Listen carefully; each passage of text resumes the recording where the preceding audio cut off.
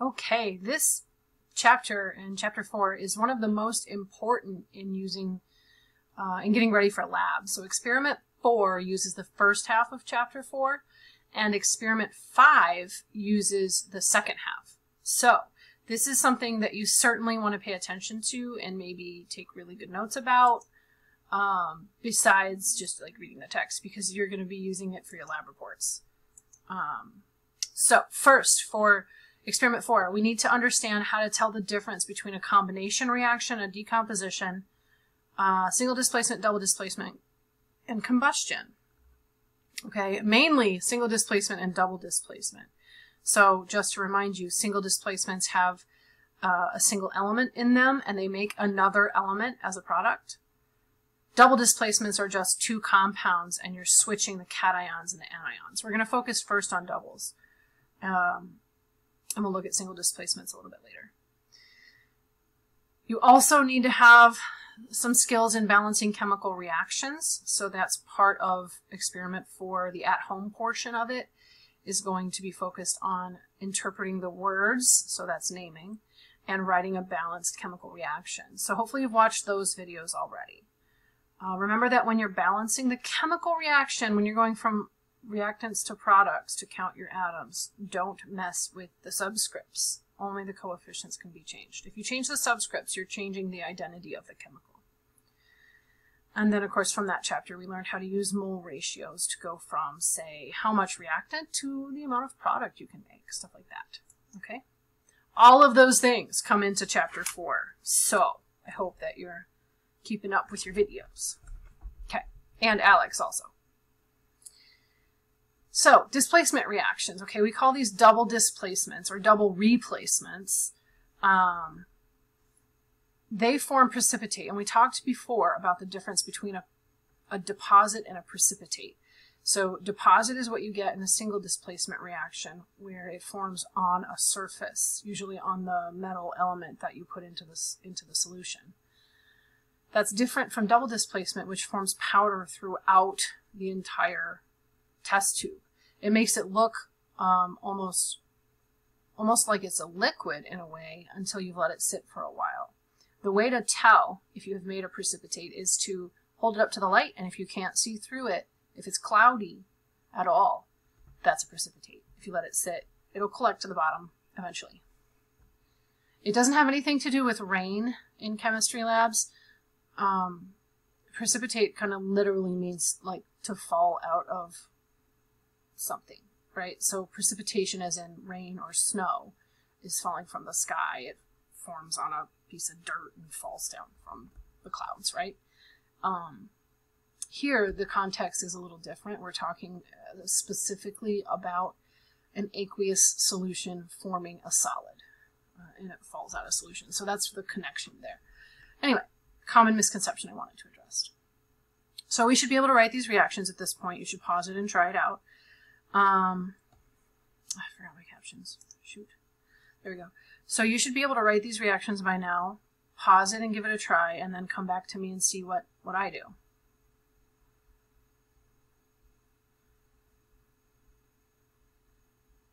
So NO3 has a minus 2 charge, and it says that the lead, I'm sorry, minus 1, uh, and the lead is plus 2.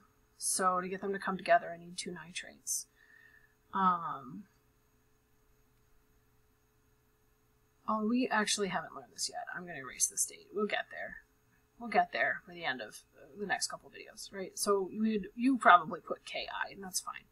Then PbNO3 and it produces a solid. And so it's asking what the solid is. What is the reaction? How do you know what the solid is? And so if this is uh, a double displacement reaction, what I like to do is put the cations in one color. So let's make the cations purple. And we'll make the anions red, because I already did that. And so the positively charged things are purple. And so when you're doing a double displacement reaction, which means you have two compounds to begin with and two different compounds at the end, the easiest thing to do is is just switch your cations, right? So, oops, I didn't switch. uh, so if your K is written first, write the write the PB first, but keep the anions in the same spot. So like this.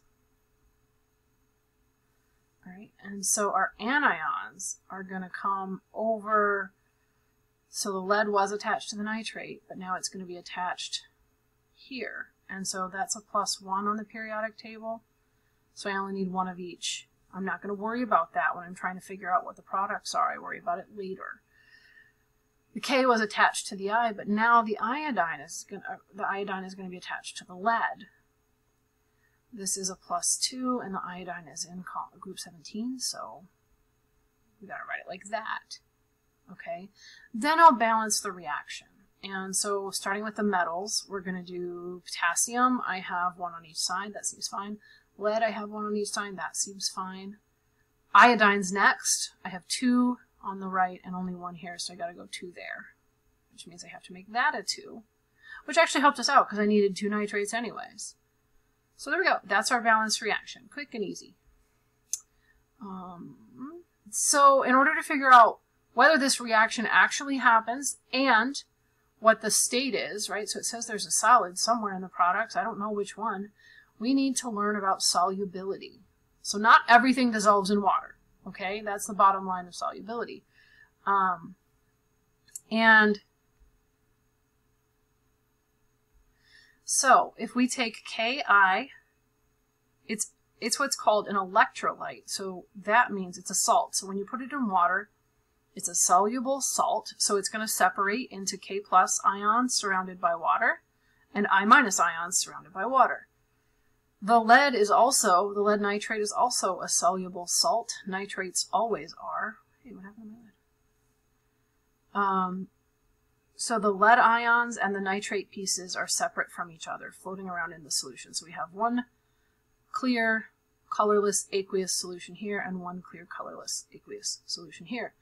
This is very common for double replacement reactions. The minute we pour them together, we get this, this cloud of solid precipitate forming, and then after you let it sit for a while, it'll settle out. But in the meantime, it covers up the, the beaker, essentially. What we're seeing here is the nitrates are still dissolved, the potassium ions are still dissolved, but the solid is PbI2 coming together because the attraction between these pieces, um, these molecules, is stronger than its attraction for water. So that makes it insoluble. Insoluble means does not dissolve. Okay, so here we have NO3 and K plus that are dissolved ions separate from each other. And here we have a crystal structure, a solid powder of PbI2. So the point of this um, next couple of slides is to teach us how to tell them apart, right? So when you're in the lab, you want to make really careful observations of what you see in the beginning, any colors, any solid, anything like that and what you see when you do the reaction, and then what you see after about 10 minutes. Okay, don't jump to conclusions because, well, sometimes we're wrong. Um, and by the way, being a solid forming isn't the only thing that shows a reaction has happened. So here's how we know what which products are solid, which things are aqueous. All right, so we're going to look at Ki and PbNO3 first. So I like this solubility chart. You can find it online, but it's also in your notes. You just Google Flinn solubility chart, it comes up. So K is right here and I is right here, so they intersect here. And it says green, which means soluble, right? SOL means soluble. When something is soluble, its state is going to be AQ. You should know, write this down. Ionic things can only either be solid or AQ at room temperature don't tell me that it's a liquid. Ionic things are basically like a salt, right? Like salt from your table. You don't see liquid salt at room temperature. It has to be like in a furnace or a volcano to be that hot, okay? It would be molten if it were a liquid. So even though it looks like a liquid, you have to realize that's just the salt, the ionic substance, dissolved in water. Okay, so anyway, when it says SOL, that means aqueous.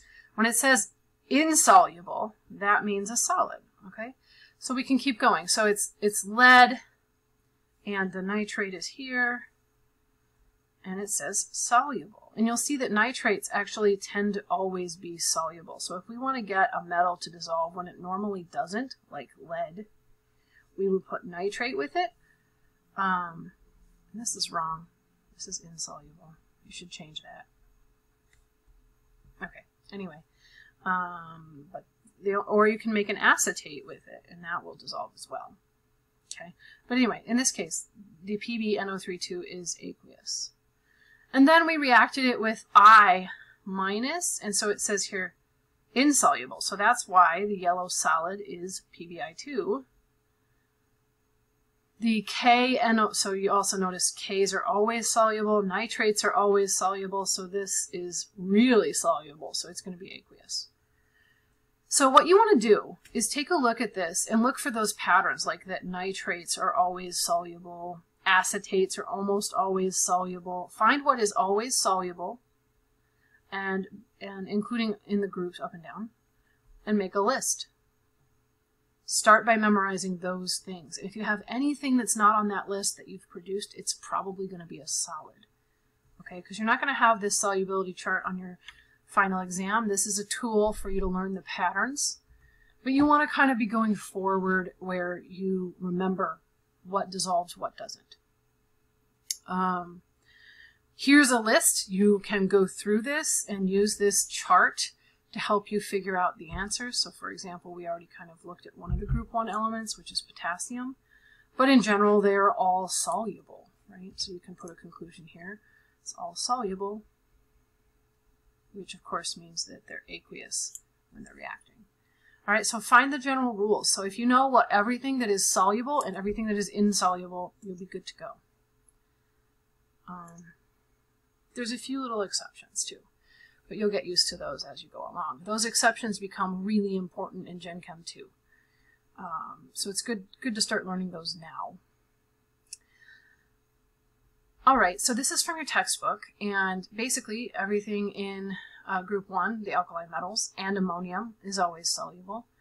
Um, I would also add here the acetates count. Basically, these first three rules are always soluble things. There's very, very few um, exceptions to that. We're not going to talk about carboxylates at all in this class. That's an organic thing. Um, and this is just a quirky exception, so probably it's not going to come up all that often. This one is one of the interesting ones. So chlorine, bromine, and iodine salts are soluble except when you put them with silver, mercury, whoops, mercury or lead. And this one also says copper, which is kind of unusual, but um, I haven't seen this in any other resource, and actually we do a lab in Gen Chem 2 that shows otherwise, so I'd actually cross that one off if I were you. But I do know chlorine or bromine or iodine will precipitate if you have silver, lead, or mercury present. And we're going to use this to analyze how much silver is in a piece of solder later in the semester. So this is an interesting exception that we can leverage. And then these are the um, things that are always insoluble unless any of the rules 1 through 3 apply. Okay, so that's what these exceptions say. So hydroxides are insoluble unless you have something from like group 1 or ammonium. Okay, so that's how you read this chart. You can use this chart as well to find the solubility rules as you need to um, to answer this chart or this list.